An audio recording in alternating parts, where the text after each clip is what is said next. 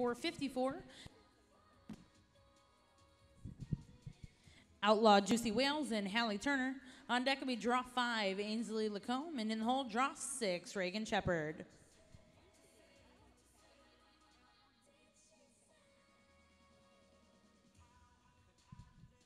We would like to remind everyone that if you are not horseback, we do ask that you have a mask on